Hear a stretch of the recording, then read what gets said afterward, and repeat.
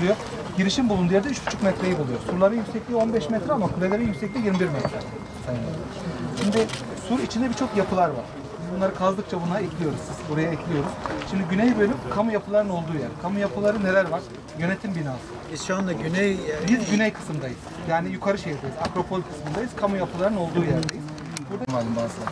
Yani Hristiyanlık zamanında da kullanmış. Biz bunları kazmaya başladık ama bizim bulduklarımızın hepsi Mekka'daki mezarlara benziyor. benziyor Sayın Valim ama antik dönemde soyulmuş.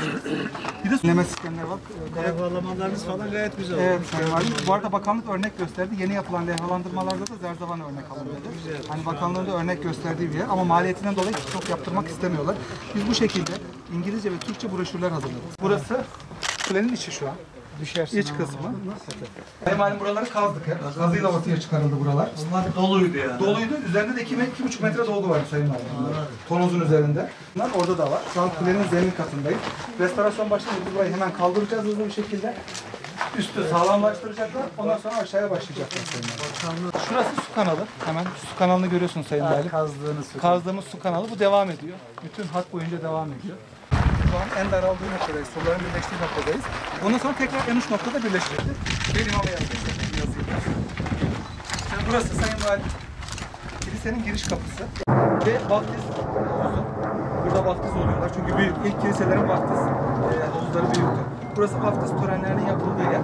Bu kapı rahibin odasına giriş kapısı. Zerzavan Kalesi bildiğiniz gibi Roma İmparatorluğu'nun en doğudaki garnizon binası. Ve dolayısıyla doğunun batıda karşılaştığı ilk yapı olması bakımından da önemli yapılardan birisi. Tabii kalenin tarihine baktığınızda ta Asurlara kadar gittiğini e, görmek mümkün.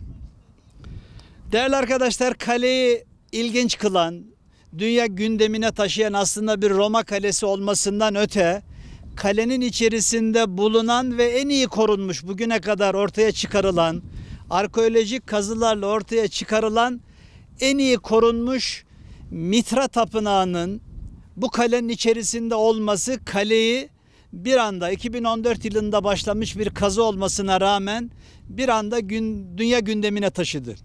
Ve dünyada birçok gelişme oldu bununla ilgili. Dünya Turizm e, Yazarları ve Gazeteciler Birliği bildiğiniz gibi 2018 yılında Diyarbakır'a turizm Oscar'ı sayılan Altın Elma ödülünü verdi. Niye?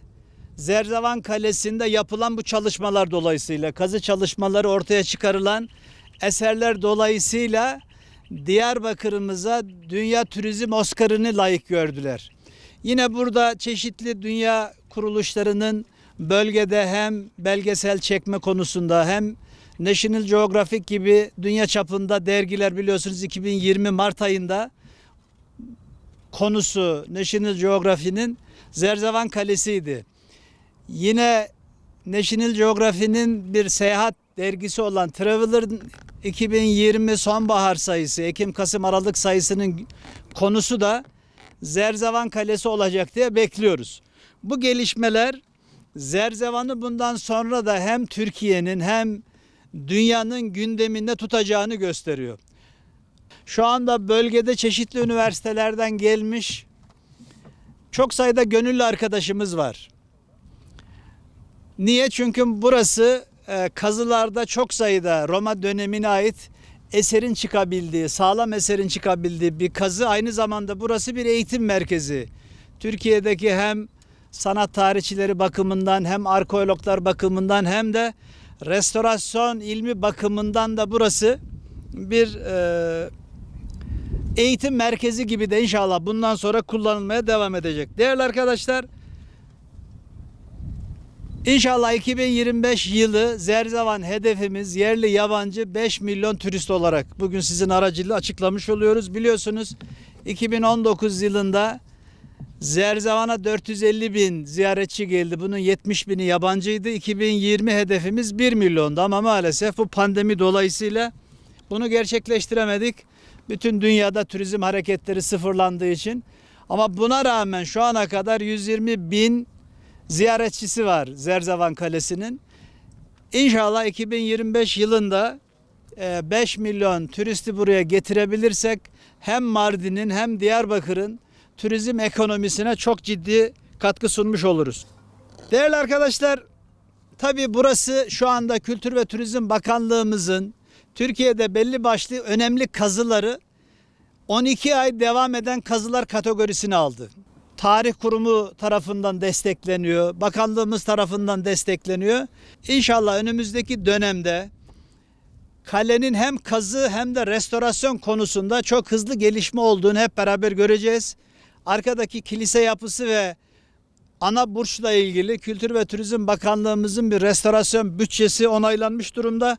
Ödenek gelir gelmez inşallah onların da ihalesini yapıp e, restorasyonuna başlayacağız.